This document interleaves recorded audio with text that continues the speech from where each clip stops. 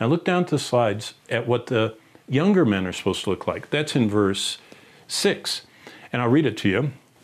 Likewise, exhort the young men to be sober minded, and all things showing yourself to be a pattern of good works. Every young man should want to be a pattern. In doctrine, showing integrity, reverence, incorruptibility, sound speech that can't be condemned, that one who is an opponent may be ashamed, having nothing evil to say of you. Now, there are seven qualities you can pull out of those three verses. Look on the right side of that, of that card.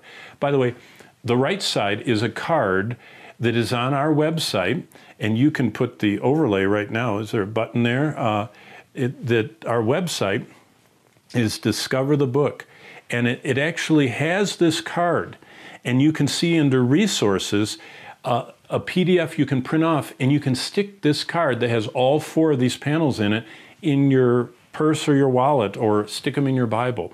But but back to this. Here's what Titus younger men are to be.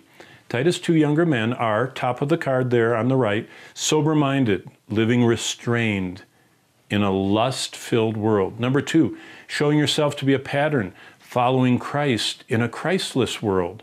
Number three, in doctrine showing integrity, believing right, so I behave right. Number four, reverence, staying focused on God in a world of distractions. Look up for a second. Wow. That is the most transformational of all these points for younger men. Staying focused on God in a world of distractions.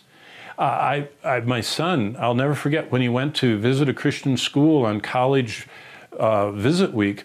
He went to one of the premier Christian schools that at that time was charging thirty some thousand dollars to go there, and he said he stayed in a dorm with all the students and and the room he had had two other guys in it and he says he got there so excited to go to classes and meet the faculty and go to chapel.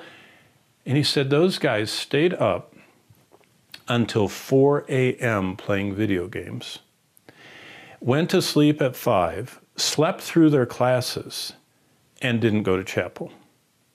Now look back at that card. Is that the kind of person to marry that can't stay focused on God because they're distracted by the world? No. Reverence is, is a God given discipline of focusing on God. The next one, incorruptibility, keeping uncorroded in a decaying world. Everybody's wrestling with sin and lust and, and the evils of this world, and a godly young man keeps an uncorroded life.